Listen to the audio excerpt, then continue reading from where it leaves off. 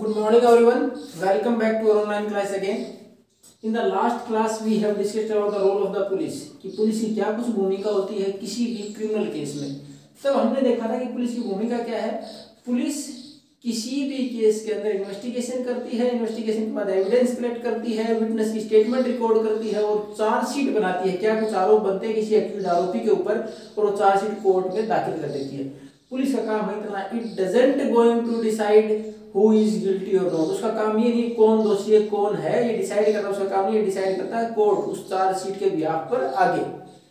अब हमारे पास नेक्स्ट है, पुलिस की कार्रवाई शुरू कहाँ से होती है? उसकी थोड़ी सी डिटेल देख लेते हैं एक बार। पुलिस कहाँ से काम शुरू करती है? एफआईआर से काम स्टार्ट करती है। सबसे पहले FIR first information report FIR की फ़र्स्ट इंफॉर्मेशन रिपोर्ट जो पहली सूचना पुलिस को मिले, उसके लिए। अब एफआईआर कोई भी व्यक्ति जा सकता है पुलिस स्टेशन के अंदर। पुलिस अधिकारी की जो भी वहाँ बैठा है उसकी जिम्मेवारी है एफआईआर लिखना। कोई भी व्यक्ति ओरली बोल के भी लिखा सकता है और कोई रिटर्न में भी ले सकता है लेकिन वो मना नहीं कर सकता उसको। अब उस एफआईआर में होता क्या है? उस एफआईआर में होता है कि डेट की, की जो घटना वो बता रहा हो कब की है किस डेट को एफआईआर लिखी गई और वो घटना कब की है किस टाइम हुई किस टाइम उसके बाद कौन सी जगह पर डिटेल्स उस जगह की या उस, या इंसिडेंट की डिटेल्स और उसके बारे में अगर कोई फैक्ट्स है, कोई भी विटनेस है, कोई सच्चाई है तो वो उस पूरा विवरण उस घटना का कौन सी घटना, किस प्रकार उसने जहाँ तक जो भी कंप्लेनेंट है, जिसने भी कंप्लेंट लिखाई है, वो बताएगा किस प्रकार घटना हुई। आइडेंटिटी ऑफ़ अक्यूज जो आरोपी है, अगर पता है, अगर ये पता आरोपी कौन है तो उसकी पूरी आइडेंटिटी कौन है, उस व्यक्ति की पहचान है उसका नाम उसके साथ साथ विटनेस की वहाँ और गवाह कौन रहे होंगे, उनके बारे में बताना, उनका उनका भी उसके अंदर मेंशन होगा फ़ाइल में नेम एंड एड्रेस और जो व्यक्ति कंप्लेंट लिखा रहा उसका नाम भी होगा और एड्रेस भी होगा, उस एफआईआर के अंदर. इतनी सारी डिटेल एफआईआर में होंगी. उसके बाद उसकी एक कॉपी उसके ऊपर उसके जो कंप्लेन लिखा रहा उसके भी साइन होंगे और उसकी एक copy without any cost free में एक कॉपी उस कंप्लेन करने वाले व्यक्ति को भी दी जाएगी. तो ये सारी होती है एफआईआर इसके आधार पर ही अपनी इन्वेस्टिगेशन स्टार्ट करती है पुलिस। पुलिस के लिए इन्वेस्टिगेशन स्टार्ट करने का पहला रास्ता है एफआईआर फ़र्स्ट इंफॉर्मेशन रिपोर्ट अब उसके बाद आता है हमारे तो पुलिस की यहाँ तक यहाँ से आगे हमने पढ़ लिया था। अब हमारे पास है रोल ऑफ़ पब्लिक प्रोसिक्यूटर जो सरकारी वकील होगा पब्लिक प्रोसिक्यूटर उसकी क्या भूमिका है? एक तो पब्लिक प्रोसिक्यूटर रिप्रेजेंट किसको करता है? स्टेट को करता है। राज्य को रिप्रेजेंट करता हो सरकार की तरफ़ से केस लड़ रहा है।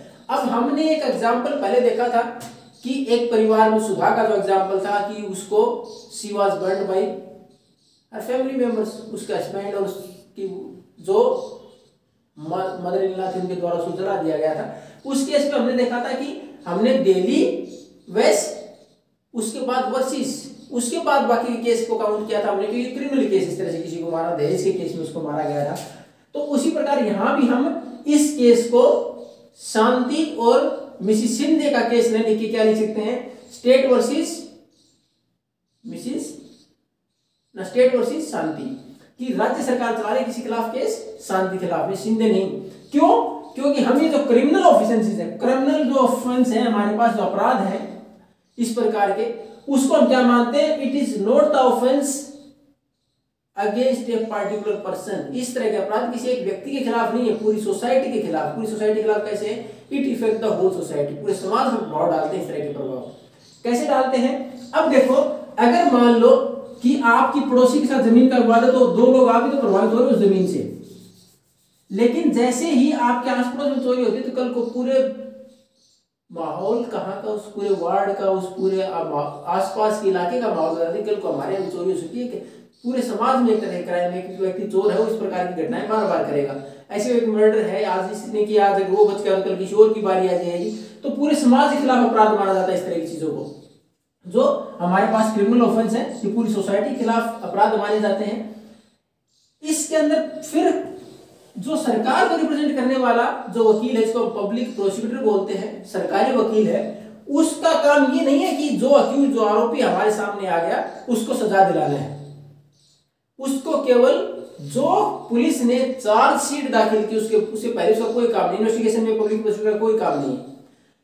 चार्जशीट के बाद उसका काम, पुलिस इन्वेस्टिगेशन करेगी चार्जशीट फ़ाइल करेगी, उसके बाद पब्लिक प्रोसिक्यूटर का काम शुरू होगा कोर्ट के अंदर। उसमें उसका काम ये नहीं है कि उसको सजा ही दिलानी है, जो पुलिस ने, जो भी किसी ऊपर आरोप लगाए हैं, उसका काम है इम्पार्शियल तरीके से काम करना, बिना किसी भेदभाव के काम करना, सच्चाई कोर्ट के सामने लेके आना। उससे इससे फ़र्क नहीं पड़ता कि अक्यूज है उसको सजा हुई किया, वो बरी हो गया, वो छूट गया। उसका काम केवल जो भी उसके पास विटनेस है एविडेंस है, उसके आधार पर केवल सही तथ्य सामने लाना है कोर्ट के सामने। ये काम होता है पब्लिक प्रोसिक्यूटर का। उसका कोई इससे लेना देना नहीं होता कि उसको सजा, किसको सजा होगी, किसको नहीं होगी। He is just helping out the court to find out the truth अब हमारे पास है कि इसके बाद तो हमारे पास एक और आता है। हालाँकि इसमें हमने छोड़ दिया, जो आपकी बुक में मेंशन नहीं करेगा डिफेंस लॉयर डिफेंस लॉयर कौन सा होता है? जिसके ऊपर अक्यूज जो आरोपी है इसके ऊपर आरोप लगाए गए हैं, उसका वकील, जो उसकी रक्षा के लिए लगाया गया है, उसके खिलाफ अगेंस्ट आर्ग्यूमेंट करता है, जिसके ऊपर आरोप बनते नहीं है, ये इसके ऊपर गलत आरोप लगाया गया, उसको बोलते डिफेंस लॉयर वो उसकी सुरक्षा के लिए है, उसको बचाने के लिए है, अक्यूज आरोपी को बचाने के लिए। अब लास्ट जो भूमिका होती है, किसी भी क्रिमिनल केस में होती है जज अब जज की क्या भूमिका है? जज के सामने जो भी एविडेंस आएँगे, जो भी विटनेस पेश किए जाएँगे, उसके आधार पर डिसीज़न लेता है कि जो व्यक्ति जिसके ऊपर अक्यूज जिसको आरोपी है, उसके ऊपर कोई कन्विक्शन है कि नहीं? कन्वेंशन जो केस चलाया गया है, कि कन्विक्शन उसके ऊपर बनती है, आरोप उसके ऊपर सही है या नहीं है, अगर वो कन्विक्ट होता है, अगर उसके ऊपर आरोप साबित हो जाते हैं तो उसको, उसके अनुसार सजा देने का अधिकार है। यानी जज अपनी तरफ़ से कोई डिसीज़न नहीं लेता डिसीज़न का किसी आधार पर लेता है on the base of evidence and witness जो गवाह पेश किए गए हैं, जो एविडेंस प्रूफ दिए गए उसके आधार पर डिसीज़न लेता है, उसके आधार पर डिसाइड करता है कि जो अक्यूज आरोपी है, वो गलत है या नहीं है। उसके बाद ही कैन फाइन जज के पास पावर क्या उसके ऊपर फाइन लगा दे और सेंड टू प्रिजन उसको जेल भेज दे और दोनों का फाइन भी लगा दे, जेल भी भेज दे according to the main according to procedure mention in the constitution जो हमारे नियमों के अनुसार रूल ऑफ़ लॉ में जो लिखा हुआ है कि किस पार्टिकुलर क्राइम के लिए क्या सजा होगी, उसके आधार पर केवल जज उसको सजा दे सकता है।